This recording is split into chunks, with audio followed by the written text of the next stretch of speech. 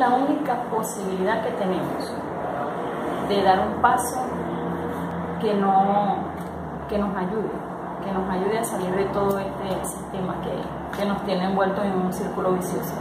Y yo sé que hay, hay muchas opiniones diferentes, pero en estos momentos creo que es mucho más lo que está en contra que a favor.